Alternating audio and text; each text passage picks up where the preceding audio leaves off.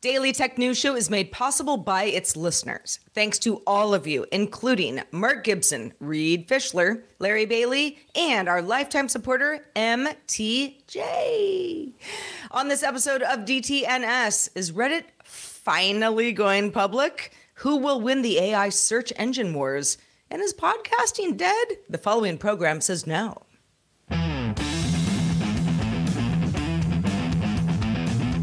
This is the Daily Tech News for Thursday, January 18th, 2024. From Studio Animal House, I'm Sarah Lane. From Columbus, Ohio, I'm Robb Dunewood. From deep in the heart of Texas, I'm Justin Robert Young. And I'm the show's producer, Roger Chang.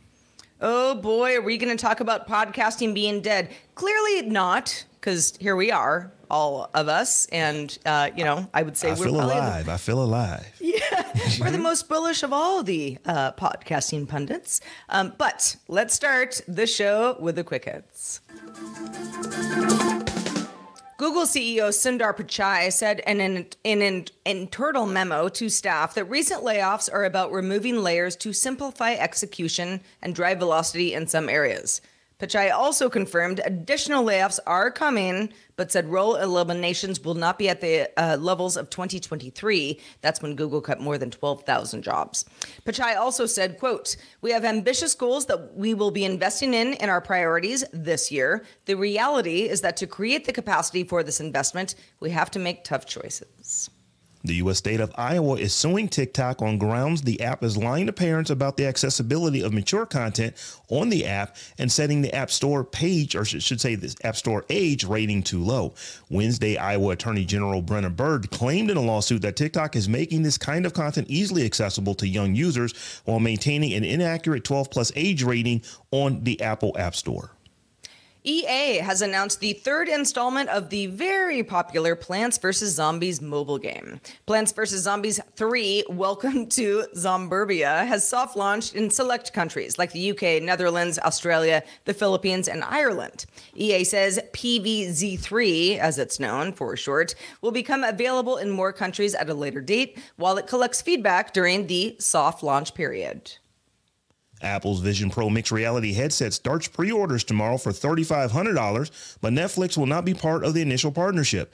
Amazon Prime Video, Disney Plus, Max, and Paramount Plus all have special applications for the Vision Pro.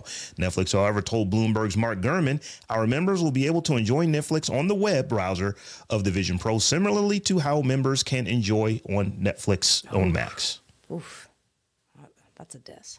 OpenAI announced a deal with Arizona State University where students, faculty, and staff will have full access to ChatGPT Enterprise and plans to use it for coursework, tutoring, research, and more starting in February. ASU Chief Information Officer Lev Gonick first visited OpenAI's HQ six months ago after the university faculty and staff's earlier use of ChatGPT and other AI tools were already in place. Those were the quick hits. Let's talk about Reddit going public. All right, now this is just a rumor, but boy, has it been a long standing rumor. Social media platform Reddit announced plans to launch an initial public offering by the end of March, March 2024. Moving forward with the listing, it has been eyeing for more than three years. Now, Reddit was valued at $10 billion back in 2021. It's now looking to sell about 10% of its shares. The company will decide on that valuation as it gets closer to the time of its listing, making its IPO in February, if that happens, followed by a roadshow in early March. Reddit's IPO would be the first of a major social media company since Pinterest back in 2019. Now, hmm. normally a company maybe or maybe not going IPO isn't huge news. This is what lots of startups do. But this is Reddit. Uh, Justin, wh- what are you thinking about this? Well, Reddit obviously has long been gestating and has had an up and down relationship with uh, its relevance in terms of social media, but now it's old growth. It is something that has been there for a long time. Reddit's reputation of being kind of the wild, the Wild West is sort of, uh, I think, more of a reputation and less of a reflection of the website that it is now. They've done a lot of content moderation. However, if you are going to take this public, then I do think that there are some questions about some of the, let's say, adult content that does exist on Reddit. Does that change? But by and large, I think this is kind of a long time coming. It, yeah, it, it feels it, that way to me too. But uh, Robb, we were talking before the show that you know when once you go public, especially something like Reddit, uh, may change quite a bit. Um, hopefully it won't be too much, but something has to change because th- if they're publicly traded, they're going to have a CFO who has a financial responsibility to grow shareholder growth. That that is what they're there for. So Reddit's going to have to think about different things, or I should say, think about things differently because they are publicly traded and they do have that fiduciary responsibility. But hopefully, and this is what you said, Justin, they, they've kind of been operating in big boy company mode for a while now, even though they have a mm-hmm. reputation of not having done that. But that reputation really stems from years ago. Lately, they've really run like a company. So we'll, we'll, we'll see how this goes. I, I, I hope not too much changes, but something has to. If you're publicly traded, things are different than the day before you were. Yeah, yeah, I think some of the decisions that they've made over the last year make a lot more sense. Depreciating third-party apps so they can make sure that they have an integrated ad experience. That's going to be a huge, huge deal uh, if they go public, because, like you said, Robb, it's better that they make that decision before than it is after, where everybody is blaming the share price. And let's not forget that the whole uh, GameStop situation was something that was birthed on Reddit right? right? Like this is something that that existed there. This is a very very active user base. It's a very engaged user base. But if we're going to look at this compared to other social media companies, I think that Reddit has been far more responsible, mostly because they have a strong mod culture, something that used to be a bedrock element of internet message boards and since the advent of social media has been pretty well depreciated. Yeah, yeah I mean, I, you know, I'm sorry, Robb. Um, uh, Reddit to me, you know, at this point is uh, there. There are certain uh, subreddits that I follow. RDTNS one is one of those. Um, but uh, in many cases, to search for something on the internet these days, because you get just the wild west. Speaking of wild west, of uh, search results to to condense that down to like, well, what are they talking about on Reddit? For example, I am in the market to buy a new television. You know, do I just say new TV, go? I mean, I can, but like the Reddit subreddits of people who are like talking about TVs all day, every day is great. That is what Reddit is great for. Now, an IPO isn't going to make any of that stuff go away, but yes, moderation policies may change, um, and you know certain subreddits that uh, you know either uh, pr- proliferate now or might in the future. You know, it sort of remains to be seen. Yeah, Reddit is a social media network, but Sarah, you made this comment in the in the green room. It's it's almost a search engine as well. I mean, I actually I actively go search things that I'm trying to find the truth for on Reddit when I just see something on a social another social media platform or mm-hmm. that doesn't really sound right. Let me go to Reddit to see, you know, what the Redditors are saying about this and maybe have additional links to go find out whether or not something is true or not. Well, because if anybody's going to be crabs in a barrel and drag down anything for any reason, it's going to be a message board. And Reddit, Reddit right now is the biggest version of what we once knew as the message board, right? Like yep. they are, it is a community that has some interoper, uh, interoperability. You can start any board that you want, and ultimately, the ones that succeed are the ones that are moderated the best. That that is, you know, old school the way we used to do it on the internet, uh, uh, information dissemination. I don't think that moderation necessarily will change because, as we pointed out, Reddit made a lot of those decisions probably about five years ago. What I do think is that Reddit monetizing themselves will be more and more of a way to do it because there's only so far that advertising is going to spread. Reddit has always consistently had a problem with uh, uh, getting a full ad load and selling as many ads as they possibly can. However, are there ways that you can maybe Wirecutter esque some of those uh, uh, you know television subreddits like you mentioned, Sarah? Mm. Maybe and and I think that th- those might be more of the fights going forward. Maybe less affiliate links unless you also cut Reddit in. So Microsoft's AI assistant launched as part of Bing's search engine about a year ago. It was then called Bing Chat. Today it's called Copilot. But as much investment as Microsoft has put into AI, Bing, according to data from StatCounter, gained less than 1% market share up to 3.4% and is still a distant second from market leader Google with over 91% of search. By most accounts, Microsoft's Copilot is quite good as an AI chatbot. Is the slow crawl of Bing's search market share more to do with just people not thinking that Bing is a search engine, or you know, is it does it have to do with uh, you know using chatbots as kind of a new thing, or is it maybe a combination of, of the two? Um, does Google's market strength in search give you know does it you know because Google is just so far ahead? Does it does it seem like Google ultimately is is doing better because Bard is not quite there yet? It has to catch up. You know, I want to get your guys' thought on that. Well, I would say that Google is just, I mean, I mean, we talk, if you listened to DTNS yesterday, uh, you heard me say like, I just use Google for everything. I know I have other options and I use them when necessary. In fact, I'm on Firefox for the show. But um but you know, that's a browser. As far as a, you know, the the the search engine experience um, we are all programmed to know how to use that search engine because of the capabilities that it has. However, the landscape is changing. Um, you know, Copilot, great example of this. Microsoft doesn't have a huge, you know, obviously does not have a huge market share as far as search engines go. But does that change in five years? Does it take two or maybe fewer? I'm not shocked by this. Google is the definition of search, literally, for the vast majority of their, uh, you know, the available user base. If you want to search for something, you Google it. That's that. Right. Few things that we need to remember here. Microsoft does not need Bing to succeed. Google needs search to succeed because they need AdWords to succeed. That's what keeps the lights on there. If Microsoft went really, really, really hard on Bing, uh, let's say uh, in the Super Bowl a few weeks from now, they the, the first ad is a Bing search ad or a Copilot ad that is is giving you the Copilot challenge. Switch from uh, Google to to Copilot, and I don't know, we'll give you a hundred dollars, something like that. And then a year from now, we we still saw them in the ones and twos in terms of uh, market percentage. I would think twice about it, but I don't think that the average user thinks of a chatbot as a replacement for search right now.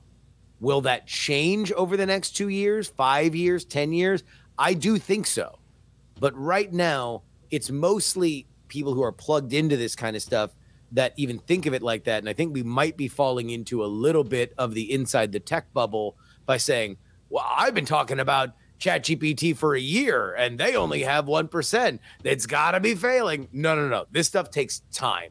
The the existential crisis is if we did start seeing meaningful uh, percentages being eaten into Google's dominance, that's like five alarm uh, crisis uh, for, for for Palo Alto or uh, yeah for for Google. Like that is uh, uh, absolutely Mountain View. Sorry, that is an absolute freak show for them because they need need need that. Microsoft sells Azure. They they're into AI so they can sell their version of the API uh, to their customers that they have been working with for 40 years now. That's that's where they're making their money. It's not on search. I I tend to agree with you, Justin. I, but I did think that with just all the hoopla that was coming out about uh, you know, about you know Chat GPT, which Microsoft put a you know significant investment in. That you know Bing Chat at the time was what was powered by, what Copilot is you know somewhat powered by. I thought that they would do a little better in the search engine. I'm not talking about 10, 12%. I was thinking like maybe, you know, two, three, four, maybe even 5%, just making a dent because Google wasn't doing it yet. It was something that was kind of novel. And I thought that people would say, oh, let me go check this out. Well, I guess a few did, but it was just a few because they were already growing at that rate. Uh, they, you know, not really catching up on Google, just taking a little bit of market share from everybody else. So it really didn't didn't play at all into their growth as far as how big Bing is as a search engine. And I, I don't want to say that that's shocking. Uh, or surprising. I just thought that it would be a little bit more. You know, I thought that it would be, you know, two, three percent is kind of where I was thinking.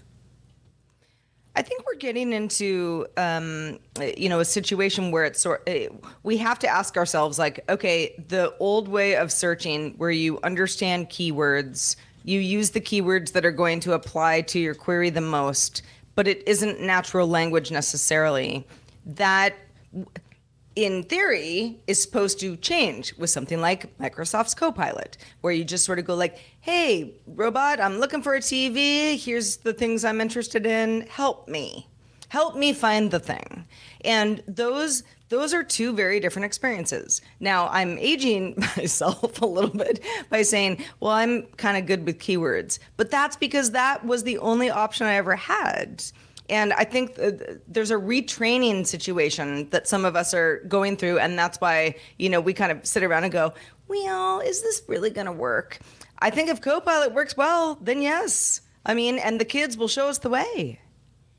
Well, you know, you know who talks about this stuff?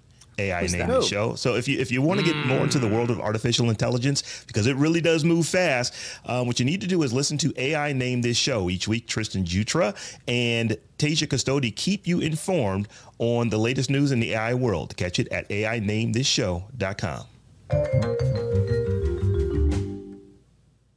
Semafor's Max Tani wrote a story titled The Incredible Shrinking Podcast Industry. Ooh. The focus is on the impact on podcasting, specifically stemming from Apple's decision last September to turn off auto downloads on shows that subscribers weren't listening to frequently. Now, if you subscribe to a lot of podcasts, this might apply to you, but you might not have known what was going on under the hood. Shows that publish frequently, like our show, or the New York Times, is The Daily, Dateline, Tawny Notes, all the most heavily impacted. Now, you might agree changes are necessary. We want to, you know, uh, not necessarily deflate a podcast bubble, but know a little bit more about where those numbers are coming from and exactly what they are. But they've also called into question ad deals made previously under different assumptions namely that shows were getting more listeners than they're actually getting and viewers, uh, depending on the on the show. Because of this change, how dependent is media on large tech platforms? Justin, podcasting isn't dead. Look at us right now. Mm. But do we think the industry may have been overvalued? Yes uh, there were some stories that came out around the pandemic time that were absolutely gobsmacking. Let's forget about the Joe Rogan deal. Let's forget about Spotify buying The Ringer, buying Gimlet. Uh, uh, let's forget about them offering Harry and Meghan millions of dollars so they could produce six episodes. There was a lavish overspending in the world of podcasting because of the promise of numbers that came out of the pandemic. Was that wise? No. In hindsight, there was a lot of overspending. Although I do wish that I could get uh, uh, $10,000 an episode to publish podcast for Dog and Pony Show audio like some other people did, according to the New York Times. With all that being said, it is not necessarily necessary, but it is a reality that if you eliminate dead downloads, unlistened to downloads from the totals of some of these episodes, you're going to get a better sense of actual listenership, even if it comes at the cost of raw numbers for which you sell advertising against. Because that's really what this is all about. Advertisers want to know in their, you know, it's it's CPM cost for cost per thousand listeners or th- thousand downloads that they are getting their money's worth. You know, eliminating the dead downloads makes that more of a real number does that make the industry as a whole less valuable? For raw advertising, yes, but I would argue that's not the strength of podcasting. it, it isn't. And, and, when you really think about this from a numbers game, it is just the, you know, the, the iOS 17 you know that that update actually took away some of the download numbers that you're going to get only within the, the the, the you know the podcast app. I don't use an iPhone, but what is it called? It's just Apple Apple Podcast. If Apple that- Podcast now, So, yeah. Yeah. So that that's just one app, and I want to say they're in like the 13 to 15 percent range. So even if that number goes down, you know, pretty far south, which it looks like it has in the case of a lot, you know, of a lot of these uh, companies, that's still just a fraction of the overall number of people that are listening to shows. If I remember correctly, I think that actually YouTube is now the number one way that people, uh, you know, get their podcast listening. You know, as far as weekly users are concerned, and we know that Google is putting ads all kind of ways inside of all of that content. So I think a bigger part of this, and you alluded to this, uh, you know, is that it is it goes back to the pandemic. And one of the things that companies always do, and this isn't just media companies and podcasting companies, this is just companies in general general. Whenever they have a boon that was not because of anything they did, in this case, the boon to podcasting was because of the pandemic. They always do a very, very poor job at forecasting what it's going to be like after that time goes away. So, as you were saying, you have all of these companies that were, were putting out just millions of dollars, in, in, you know, in, in many cases, you know, to get podcasting content, not thinking about, well, wait a minute, when people go back to work, when people become creatures of the habits that they had formed for the last, you know, 50, 60, 70 years of, of media, how are they going to go back to that as compared to what we are in now just for this two and a half three year period of the pandemic? I don't think that they forecasted well but this was very foreseeable. If you if you really just thought about well, people are going to go back to work people are going to get back to doing things the way they used to do them and are just not going to listen with the fervor that they did when they were captive audiences inside of their living rooms. I mean, look at all the companies that are laying people off now, being like, "Yeah, we overhired, um, or we hired for what was right for us at the time, and it no longer is." Uh, you know, podcast industry is is not exempt from that. Um, being behind the curtain on uh, our podcast that we're doing right now, but also others uh, that I work on on various bases. I mean, the number one question I get from people who are like, "Okay, Sarah, you know how to do this, but we don't. What are our numbers?" And it's like, okay, here's here's a, uh, my best guesstimate of what your numbers are based on the information that even I, as the producer, have behind the scenes. We all know how this goes. You know, if you're just listening to a podcast, you might not know how hard it is to tell somebody with authority, this is how many people listened to your last episode last week. Because uh, you know, an RSS feed does wonders uh, for numbers, but it only goes so far. It's it's very confusing, and I think we're yeah we're in an overcorrection period now where um, advertisers are sort of like, well, what are your numbers really? And Apple's like, yeah, uh, we probably shouldn't be counting like these downloaded numbers of someone who is for sure not listening to your show. Not even because they don't like the show. They just, I don't know, they've got other options. They got busy, whatever it is. Those are numbers that shouldn't be counted in theory. But when you're somebody who is depending on ad rev uh, for Yeah. you know your livelihood, that's where it gets really tricky, and that's where it's hard for me to say like, yeah, you know, slash those numbers, you know, give me the real deal because it is it it it's uh it's a rude awakening. I would love inflated numbers. Inflated You're numbers right. are great. I would love I would love it if somebody and look, there's a reason why television people will complain about Nielsen, but we'll never go away from Nielsen because it's a coin flip. Sometimes it says nobody watched, and sometimes it says way more people than actually watch watch because of the way that they do their numbers. It'd be nice to be television, but the reality is that podcasting is not a passive medium. Podcasting is an outgrowth of not radio, but talk radio, a very specific brand of art, which has never been gigantic because it is extraordinarily passive. Now, you're always going to have your monsters in the world of talk radio. And I'm sure the names that you were thinking in your head probably stand out Howard Stern, Rush Limbaugh, Colin Cowherd, the, the list goes on and on. However, the one thing that is real about talk radio is not the raw numbers, but the passion. And passion being monetizable is relatively new compared to the kind of advertising that we were talking about here, which is pretty dumb pipe stuff. You have number, you have demo, here, here is product. Read this script. We move on.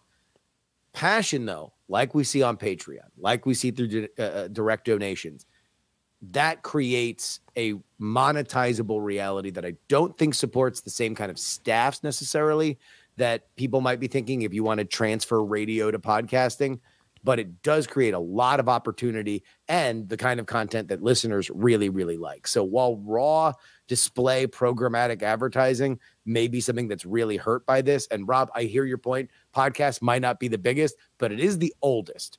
And that means that it has more of this problem than a younger platform would because you've just subscribed to, for people that have been on that platform forever, you've just subscribed to a million podcasts and some of them have just fallen out of favor, but keep downloading.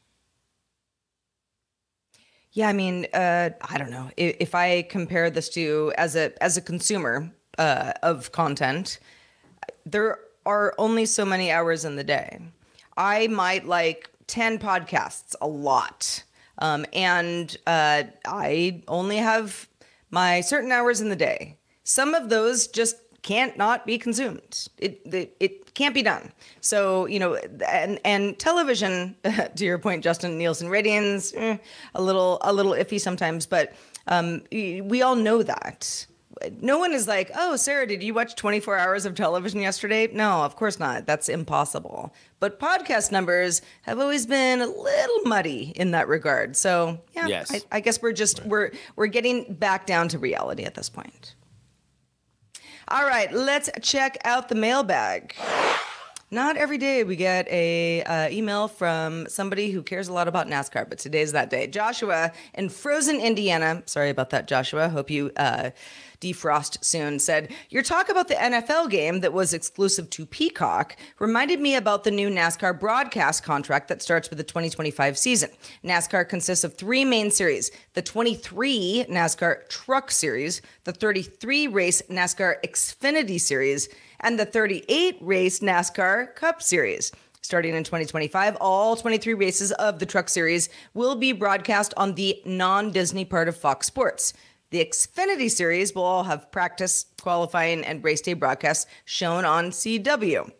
Are you keeping up with Joshua? He goes on. Mm-hmm. Race day broadcasts for the Cup Series will be split as follows. The first 14 races will either be on Fox or FS1, then five on Amazon Prime, and the next five are on TNT and simulcast on the BR Sports ad onto Max. Final 14 on either NBC or USA networks. Practice and qualifications for the first half of the season, minus the two exhibition races and the Daytona 500, will be on Prime Video. And practice and qualifying for the second half of the season will be on truTV.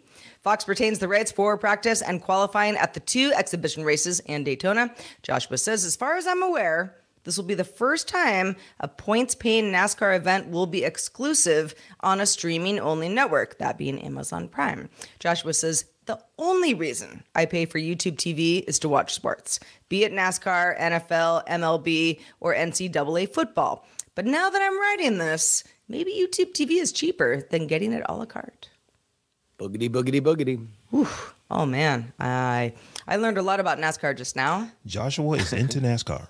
Yes, he is. Um, also, even if you're into NASCAR, I could see where your options are very confusing.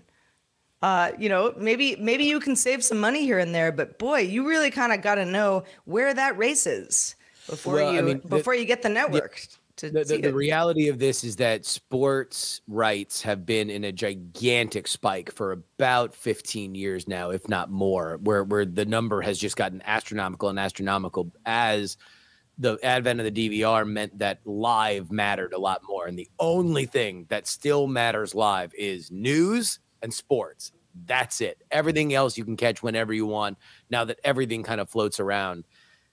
But to keep up the pace of all that money, a lot of these leagues, including the NFL, have to start making deals with the big tech power players, and they're going to demand exclusivity. And if that's the case, then you're going to get wacky stuff like this, where the Chiefs and the Dolphins are on Peacock, and half this NASCAR uh, season is going to be on Amazon Prime.